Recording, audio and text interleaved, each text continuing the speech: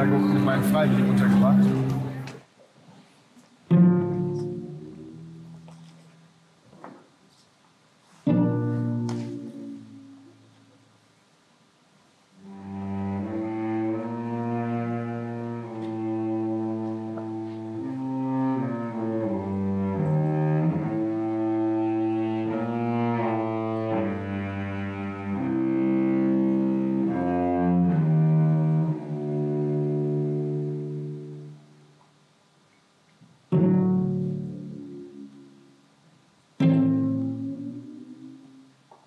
Bildungsart ist eine Woche der Begegnung. Eine Woche, wo Menschen ganz unterschiedlichen Alters sich begegnen können, sich gemeinsam austauschen können über bestimmte Themen, Fragen, die in ihnen brennen. Es ist primär gedacht gewesen oder auch immer noch gedacht als eine Woche, wo sich die Studierenden des Campus A in Stuttgart und die Dozierenden begegnen und gemeinsam für eine Woche diese Fragen bewegen. Aber es ist von Anfang an auch gedacht gewesen als eine Woche, wo interessierte Menschen, die nicht im Campus sind, teilnehmen können und mit diesen Fragen gemeinsam umgehen können, auf ganz unterschiedliche Art und Weise. Durch die Kunst, durch die Begegnung, durchs Gespräch, durch Vorträge, durch die Stille, ähm, durch das Mitbewegen durch die Nacht, also durch ganz verschiedene Arten und Weisen. Und Bildungsart eben deswegen, weil wir das Kernthema der Bildung haben, was ja natürlich auf einem Campus immer das Kernthema ist. Wenn es am besten ist oder wenn es funktioniert in Form eines Festes, eines einer Woche dauernden Festes.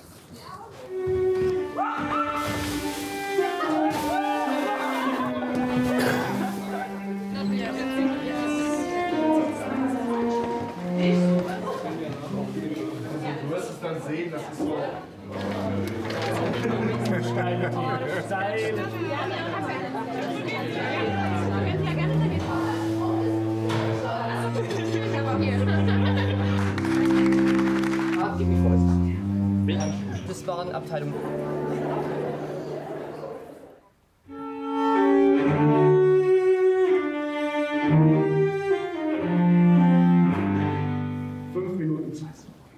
den Moment des etwas Neuschaffens in die Bildungskultur mit einbringt, da finde ich es sehr wichtig, über Bildung zu diskutieren, über Bildung zu sprechen und sich mit Bildung auseinanderzusetzen. Und dementsprechend haben wir eben auch versucht, das Tagungsprogramm dahingehend zu gestalten, dass Bildung nicht auf Schule oder Kindergarten oder Institution reduziert ist, sondern wirklich ein Bildungsbegriff angelegt ist in der Bildungsart, der, der wirklich alles umfasst, also Menschenbildung und institutionalisierte Bildung. Wenn ich jetzt noch mal ganz kurz einen Blick werfe auf die drei Phasen, dann kann man sagen, in der Antike, wir haben gehört von den Griechen, da wurde eigentlich die Schönheit von Körper und Seele gebildet. Ich schreibe es, glaube ich, jetzt nicht mehr an. Schönheit von Körper und Seele. Im Mittelalter der Glaube. In der Neuzeit, ich möchte nicht sagen der Geist, ich möchte sagen der Verstand.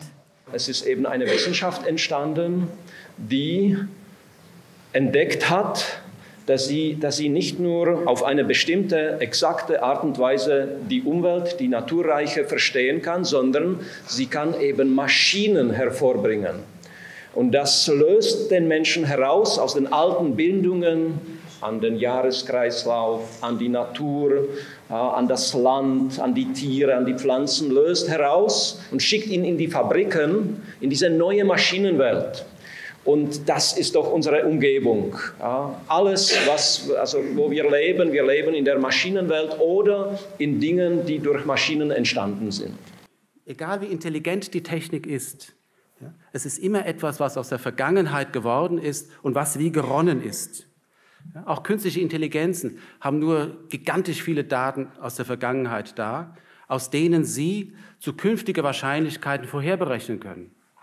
Ja, für alle Technik gilt immer letztendlich als Grundmotto, wie es war, wird es wieder sein. Da kommt nichts prinzipiell Neues aus den Maschinen.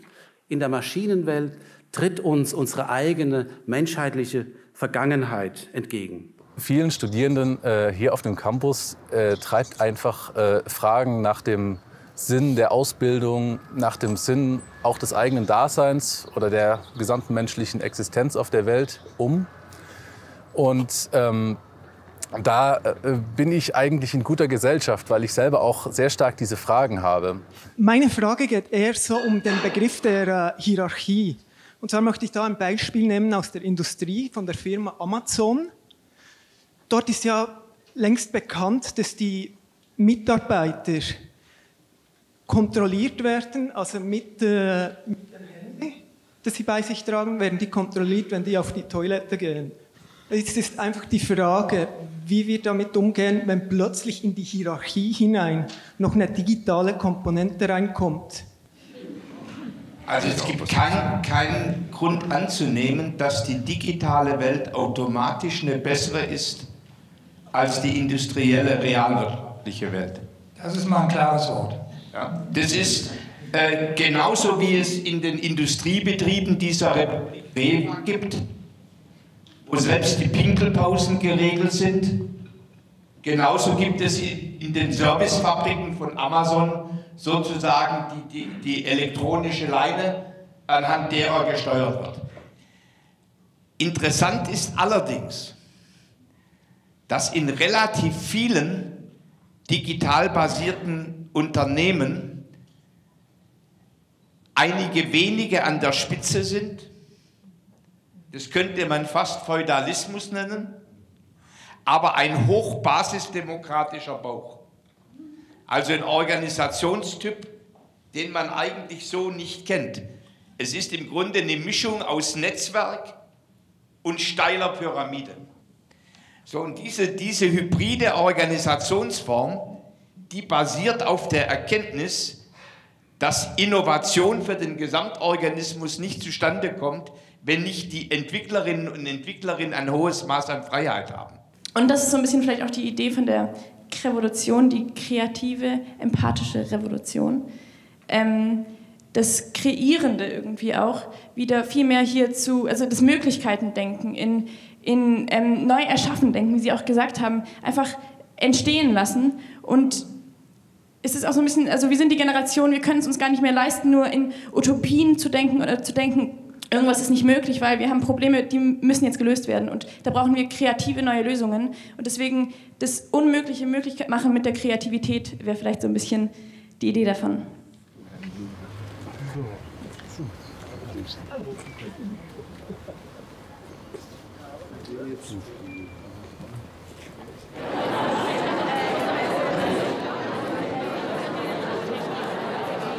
Wer über Bildung spricht, muss auch über das dahinterstehende Menschenbild nachdenken. Beziehung, und das gilt in besonderem Maße für das Verhältnis von Lehrern zu ihren Schülern. Daher ist die Persönlichkeit des Lehrers ganz zentral. Davon zeugt auch der Methodenstreit in der Pädagogik zwischen den Töpfern und den Gärtnern versteht sich der Lehrer als Töpfer, der seine Schützlinge formt? Oder sieht er sich als Gärtner, der düngt, hegt und pflegt und sie wachsen lässt? Das sind tiefe Vorprägungen, sage ich mal. Allerdings, äh, wir haben, das, wir haben da die Wissenschaft befragt und die gab uns eine interessante Antwort. Das wird überschätzt. Die Methode wird überschätzt. Entscheidend ist, ob der Lehrer oder die Lehrerin diese Methode kann und von ihr überzeugt ist. Und wenn es der Fall ist, erreicht man mit beiden Methoden seine Ziele. Also das ist das Schöne am Methodenstreit. Äh, es kommt doch immer zum Schluss wieder auf die Lehrerpersönlichkeit an und nicht auf die Methode. Das wäre ja fürchterlich. Stellen Sie mal vor, in der Methode, die ist richtig und die andere falsch wäre, irgendwie wären das alle zum Schluss Loser. Also, wenn Sie jetzt noch mal so einen großen Wurf in die Zukunft machen, Herr Patzlaff, wo stehen wir dann da? Also der Wurf in die Zukunft äh, wäre für mich, dass wir eigentlich nicht mehr über Waldorfpädagogik reden, sondern über Kindheitspädagogik. Weltweit.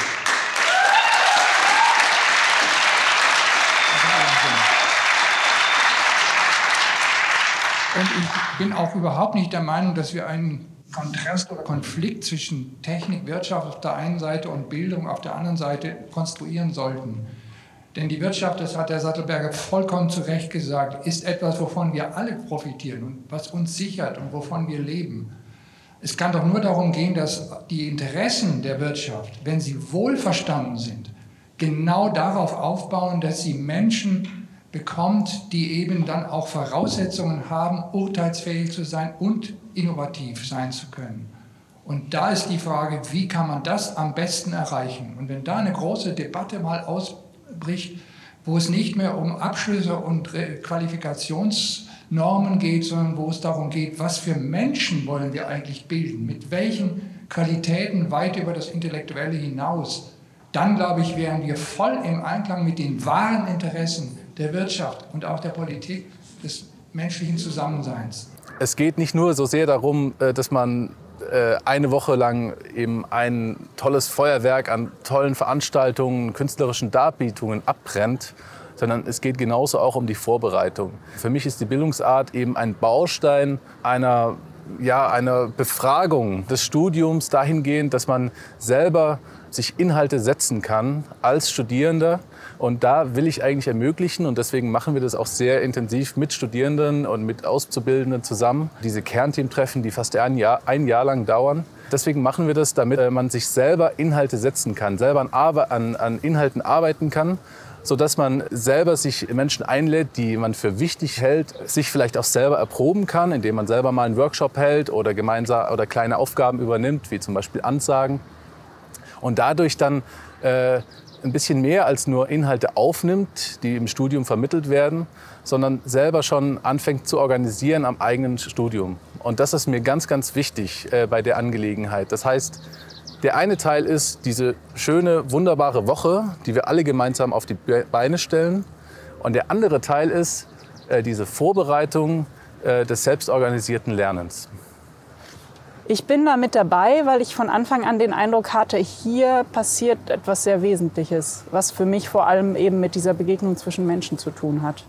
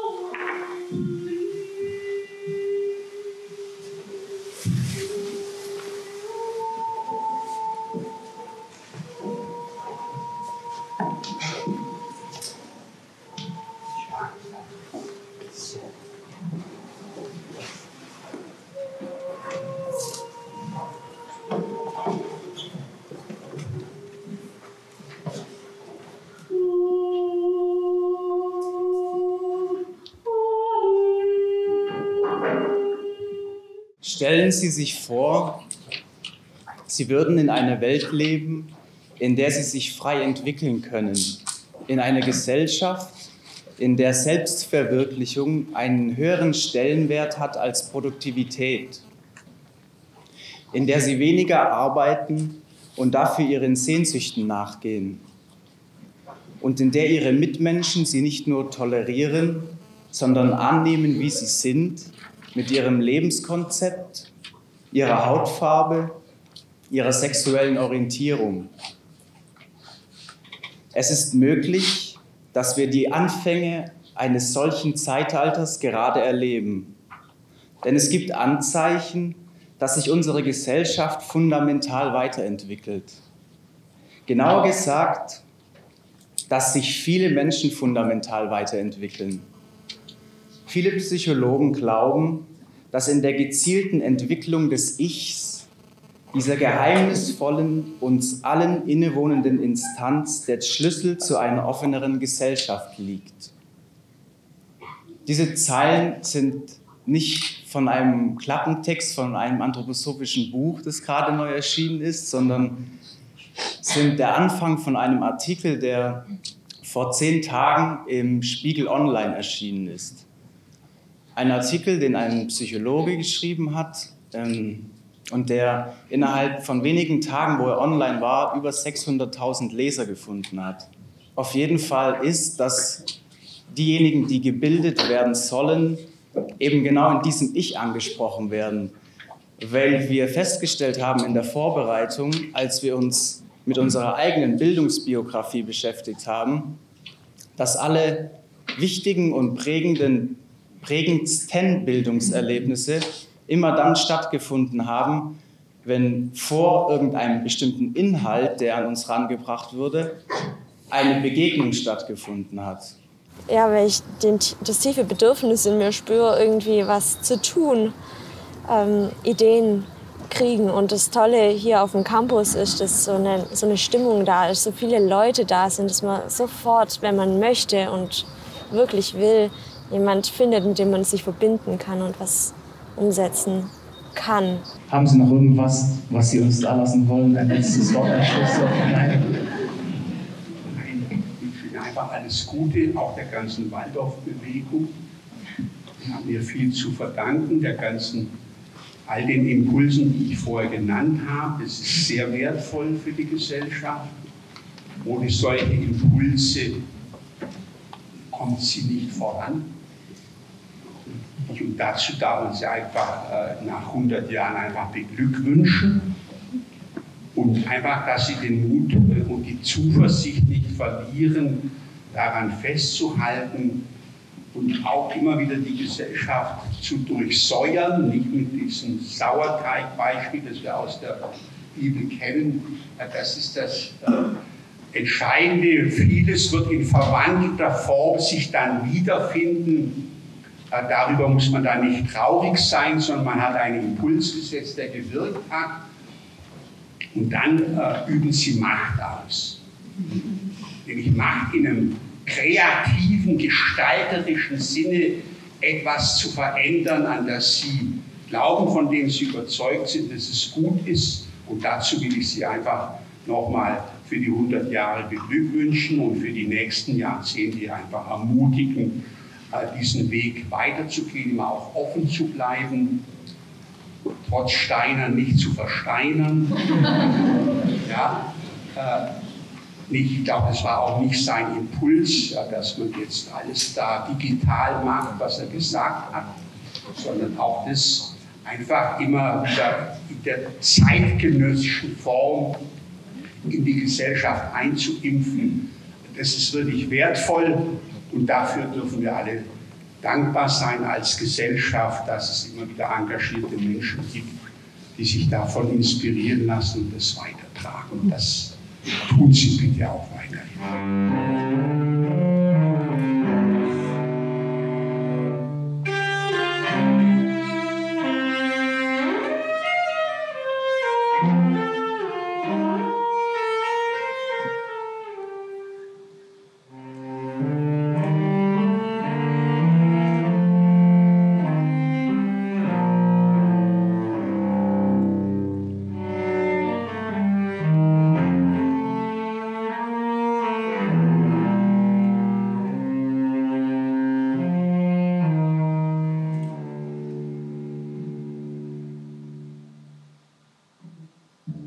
Mm-hmm.